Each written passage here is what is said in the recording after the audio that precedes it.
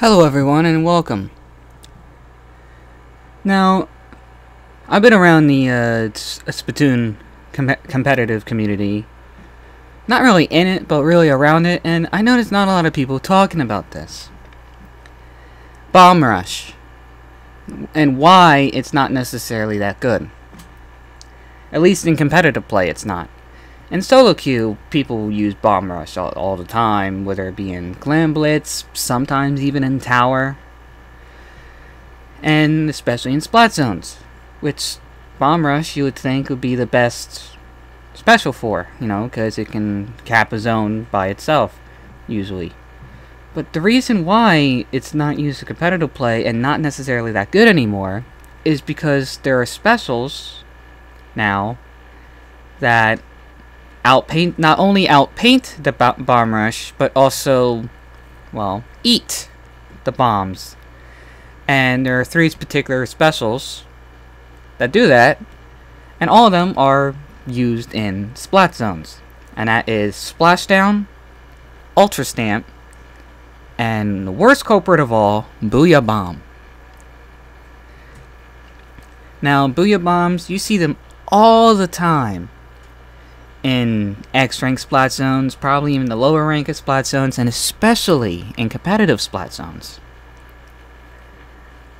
Now, I'm not sure if teams like to go for one Booyah Bomb user or two. I know they at least like to go for one Ink Armor user. But nevertheless, all three of those specials are used in splat zones. And they all nullify bombs. Now, a lot of you probably thinking, yeah, that's obvious, so what's your point? My point is to make Bomb Rush better, maybe we should like take away one one or two of the specials that eat the bombs. And what I mean by that is if we want to improve Bomb Rush, there are too many specials that eat them, so and how I was thinking of fixing that is simple. Do you, a lot of you guys who played Splatoon 1, remember Ink Strike? Well, how did bombs react to Ink Strike? Did they just disappear in it? No. If you threw a bomb at an Ink Strike, it instantly exploded. And I think they should add that to Booyah Bomb instead of having a bomb just disappear inside the Booyah Bomb thing as it's painting, why not just have the bomb explode on impact? That, that way it also nerfs people throwing Booyah Bomb at their feet. Which I see a lot of players do that. And it, would be kind of like a, a side nerf, I guess, to Booyah Bomb, but not necessarily. And also be kind of a buff to, to um, the bombs. Now, yes, you could technically over outpaint a Booyah Bomb with your main weapon, but we're not talking about main weapons here. We're talking about the bombs. And I think that that would be a good way to go, since Booyah Bomb by itself is already kind of like a um, a Ink Strike, just without the uh, the gamepad. That's how I view Booyah Bomb at the very least. And with Hammer, you swing hammer and the bombs just disappear. I think they should just get rid of that entirely. I think the hammer should have zero effect on bombs. That's how I personally feel. And Splashdown, Splashdown's the only one I would leave alone.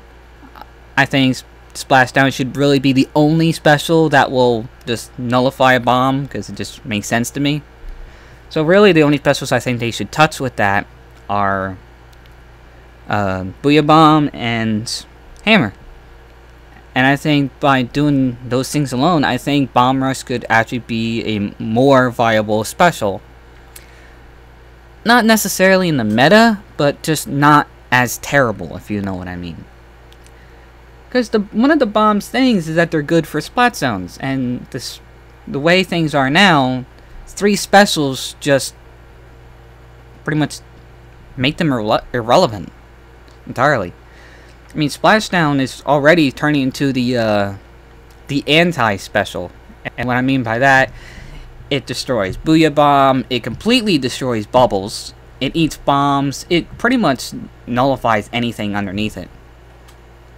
As well as stuff slightly above it, because you know it's splashdown and has a hitbox that's upwards, but... Anyway. Splashdown's good. Uh, I think they should uh, do those things with the Booyah Bomb and the Hammer. I don't think Hammer should be nullifying bombs. I, I don't know why they have that as a thing.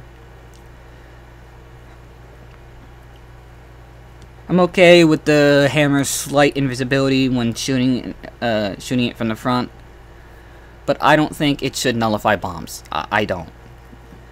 And the reason why people use hammer for splat zones is because, you know, you just hammer along the zone and you paint it. For those who didn't know. but yeah, if they do those if they do those things, will bombs be in the meta? Maybe you might see a bomb rush user here and there. I think it would dep depend on the comp and the map and the and the the player as well. So yeah. Tell me what you think down below in in the comment section, because I would like to know what other how other people feel about that. This is how I personally feel, and uh, I'd like to hear from you guys. Be sure to uh, like, comment, and subscribe. Sorry for my phone. Like, comment, subscribe. Sorry for my phone there. And uh, and share this video if you if you think I made a good point. And uh, sorry for my bad speech. This is the first time I'm doing this. So please excuse that and uh, keep the criticism light because keep in mind it's my first time actually doing a commentary like this. But again, like, comment, subscribe, all that if you're feeling generous. And uh, I'll see all you guys next time.